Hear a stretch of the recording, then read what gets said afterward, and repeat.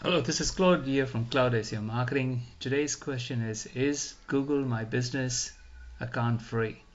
So we're going to talk about how you could um, you could um, get a free business account because it is free and it's given to by Google for local businesses to uh, to uh, to get their profiles seen when people search in the local areas. So this um, uh, is absolutely free take advantage of it and and move forward.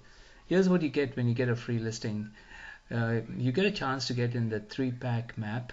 Now you may wonder what the three pack map is. It's the three listings that you see right on top when you open a search. You see three listings now uh, just under the map, and these catch the eyeballs of visitors.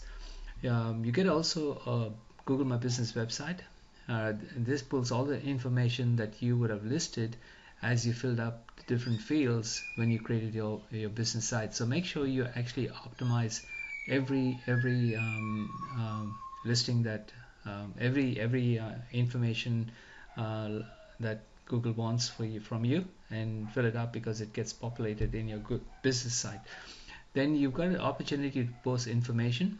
Uh, this is text that you can post on a regular basis. I suggest you post every every day, at least five days a week, or even three to four days a day, week, but be consistent.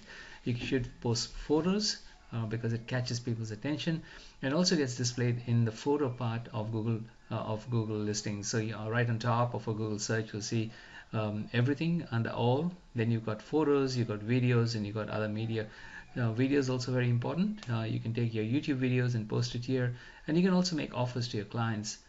Uh, lastly, the opportunity to display your products services is also a feature that you should uh, take advantage of. Now, what to keep in mind, make sure you, you, as I mentioned earlier, try to do at least five posts a week. If not, three posts a week would do. Make sure you have an offer every few weeks so that people come back to your website uh, regularly to see what you can offer uh, last um, uh, point number three is update your product listings regularly. As you add new products uh, update it or create new products. If you're in a t-shirt business uh, put up new graphics new posts of t-shirts with different pictures or text. Make sure your posts are on topic and do not use selling language in posts. Be helpful to your your visitors make sure you claim your listing. Most people do not claim their listing. I notice a lot of businesses do not claim their listing. What if another business can go in there and claim your business and your business name is taken by someone else?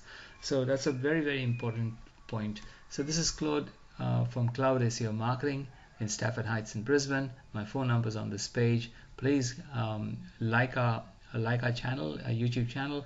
And uh, if you need any help or we can get all this set up for you at a very nominal price.